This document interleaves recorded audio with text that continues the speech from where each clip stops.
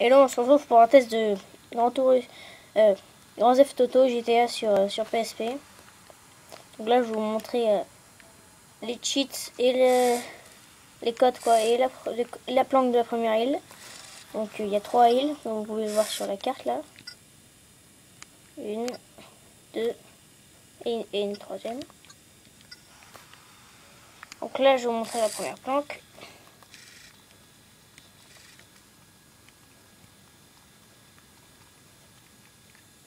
Donc là, euh, c'est ce qui permet donc euh, bah, de récupérer de la vie si on veut. Mince, là je suis ressorti. Ce qui permet, vous allez voir, de récupérer de la vie, de sauvegarder ou de changer de tenue. Donc, de changer de tenue, ouais, je vais vous montrer. Là, j'étais en tenue de chauffeur de, de taxi. Et là, je vais me mettre en... Bon, je vais mettre en tenue décontractée.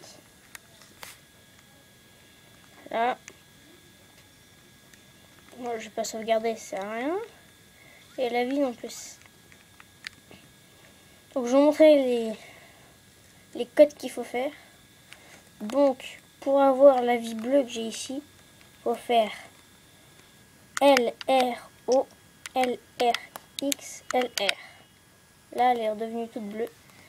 Pour avoir la vie en rouge, si, euh, si vous êtes euh, pratiquement mort, vous faites L, R, X, L, R, carré, L, R.